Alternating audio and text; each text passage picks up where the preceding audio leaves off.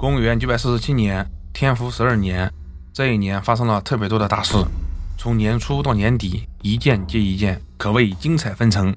正月初一，石中贵失国；二月初一，耶律德光做了中原的皇帝；二月十五，刘知远在河东称帝；四月，耶律德光北返；五月，病死在了沙湖林；随即，耶律阮在郑州称帝；六月，刘知远恢复中原，改国号为汉。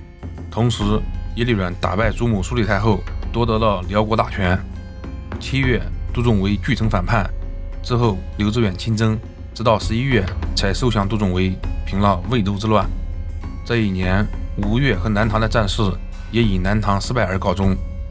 另外，后蜀和楚国也各有大事发生，容我慢慢的道来。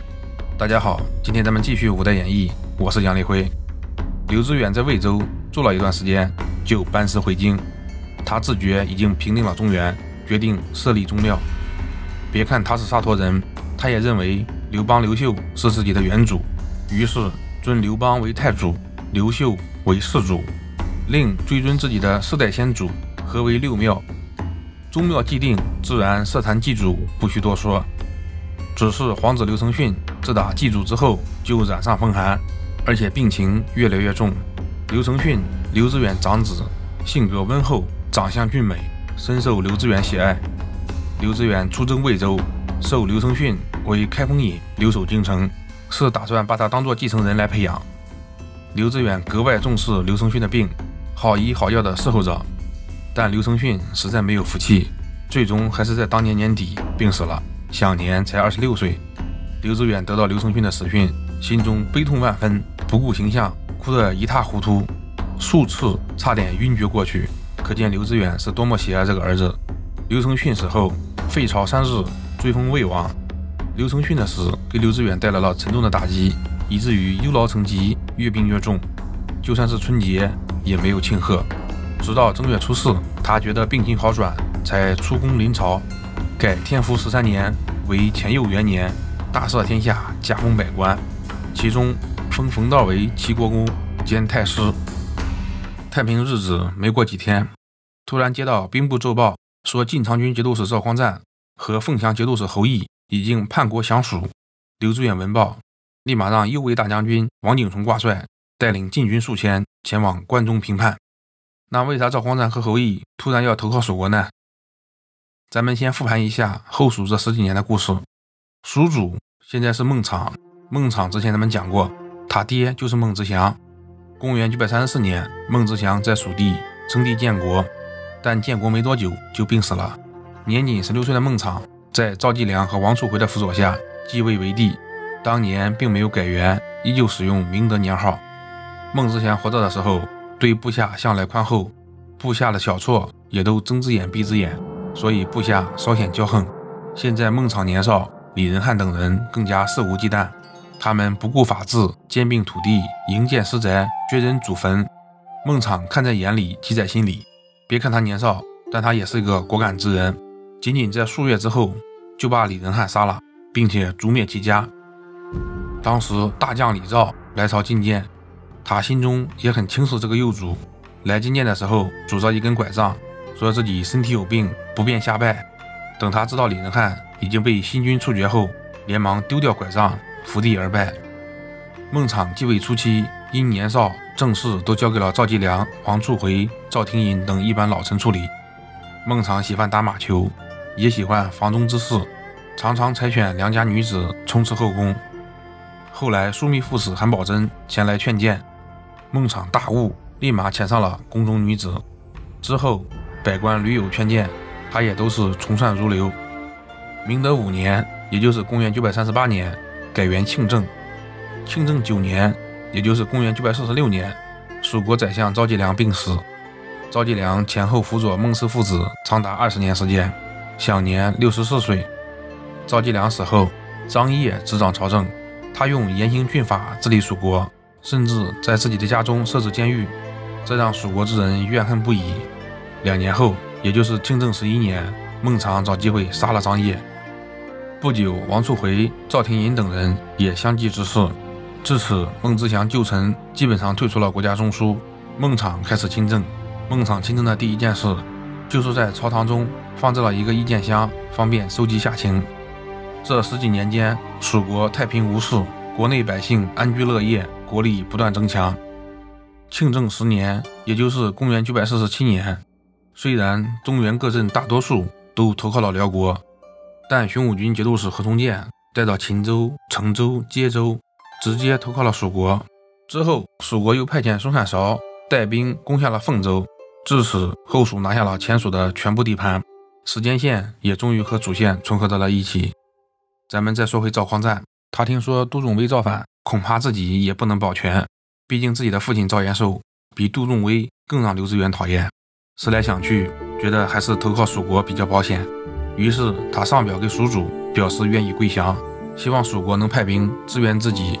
孟昶接到赵匡赞的表文，自然大喜，立马派张千昭为主帅，韩宝珍为都虞侯，带兵五万出兵大散关，又命何从建为副帅，带领本部人马出陇州。和张千昭会师，他们会师后直逼凤翔而来，又加派李廷圭带兵两万出子午谷声援长安。凤翔节度使侯毅探知蜀军大举入侵，吓得不知所措，正准备上表告急，接到了何从建的书信，信中内容自然是劝降侯毅，而且还附上了时任蜀国枢密使王树回的招降书。侯毅考虑再三，觉得远水解不了近渴，等汴梁派兵过来。自己早就被人消灭了，于是就交出地图户籍，向蜀国投降，并写信给赵匡赞，希望他能和自己形成犄角之势。哪知道这时候的赵匡赞又发生了变化。原来赵匡赞手下有个判官，名叫李树，他本来是赵延寿的幕僚，后来赵延寿让他辅佐赵匡赞。赵匡赞投降蜀国的时候，李树就出来劝阻，但赵匡赞不听。之后他又找机会对赵匡赞说。燕王投降契丹，并非本意。现在汉家兴得天下，对咱们也多有示好。如果咱们现在谢罪归朝，必能保全官爵；投降蜀国，恐非良策。蜀国国小，不是您容身之地，还望三思而行，免得后悔。赵匡赞听后觉得很有道理，决心再次投靠刘知远，就派李肃。前往汴梁谢罪，表示愿意入朝听从处分。李肃来到汴梁，见到刘知远。刘知远问李肃：“匡赞为何要归附蜀国？”李肃回答道：“赵匡赞因父亲归附胡虏，担心陛下还没有真正谅解，所以归附蜀国以求自保。但经过臣一再劝谏，他已经悔悟，特派臣前来祈求赦免。”刘知远说道：“匡赞父子本来也是我的故交，之前不幸身陷胡虏，现在延寿身在牢笼，我哪还忍心再加害匡赞呢？你回去报与匡赞，让他不必多疑，尽可来朝。”李肃闻言大喜，拜谢而归。侯毅这边，他听说赵匡赞又投靠到刘知远，瞬间觉得自己成了傻叉，赶紧模仿赵匡赞上表谢罪，并请求入朝。汴梁这边，现在王景崇还没出发。刘知远把他召入卧室，单独对王景成说道：“赵匡赞和侯毅虽然都要入朝觐见，但不知道是否还有其他的诡计。你带兵西去，密切观察动静。如果他们真心入朝，不必过问；如果他们千言观望，你可便宜行事，千万不要中了他们之计。”王景崇领命，即日启程向西而去。正是刘知远的多疑。让西部的局势更加的复杂。赵匡赞这边，他担心蜀军随时抵达长安，恐怕到时候难以脱身。于是他不等李肃回来，就离开长安，向汴梁而来。路上正好遇到回来的李肃，得知刘知远已经宽宥自己，心中大喜，就更加放心的前往汴梁。后面又遇到了王景崇，和王景崇说明情况，王景崇也让他过去了。王景崇带兵继续向西，很快抵达长安。刚到长安，就接到军报，说蜀兵也快到长安了。王景崇自己并没有带多少兵马，担心不足以抵挡蜀军，连忙调遣本道人马，并把赵匡赞的牙兵千余人也一起征调，共同御敌。但他又担心赵匡赞的牙兵有可能叛逃，就要在他们的脸上都刺上刺，让他们更容易辨认。他和自己的部下齐长真商议，齐长真并不赞同。没想到这时候，赵匡胤的牙兵将领赵思婉自己主动请求在脸上刺字。王景崇闻言，当然十分欣喜。等赵思婉走后，齐长征和王景崇说道：“赵思婉面目凶狠，恐难以节制。况且此次命令尚未发出，他就前来请命，越是谄媚，越是狡猾。此人万不可信，应当速速除掉。”王景崇说道：“无罪杀人。”如何服众，并没有接受齐长征的建议。兵马集结后，王景崇亲自带兵前往阻击蜀军。蜀军这边，蜀将李廷圭师出至乌谷，探知赵匡胤又投靠了刘知远，就想着带兵回去。正在这个时候，王景崇突然出现在自己的面前，吓得他猝不及防，很快就被王景崇打败。他且战且退，连逃了十余里，才逃出升天。手下军士伤亡数千人。侯毅这边，他听闻王景崇大胜，这更加坚定了他的决心，于是整军严防，抵御蜀军。蜀军主帅张天昭得知侯毅又背叛了蜀国，就召集诸将商议，有的建议进兵，有的建议退兵。这弄得张天昭没了主意，就按兵不动，留在原地。没多久，他又听到王景崇召集了凤翔、陇州、滨州、荆州、抚州、房州等地兵马前来攻打自己，吓得他赶紧带兵连夜撤回蜀国。王景崇带兵一直追到大散关，见蜀军都撤入关内，也就不再追击，引兵回镇。王景崇连续两次向朝廷告捷，朝廷授王景崇为凤翔军监使。于是，王景崇带兵来到凤翔，侯毅开门迎接。王景崇和侯毅交谈时，觉得侯毅言语之间支支吾吾，这让王景崇动了疑心，想起了出发前刘志远说的话，立马派兵分守各个城门，准备拿下侯毅。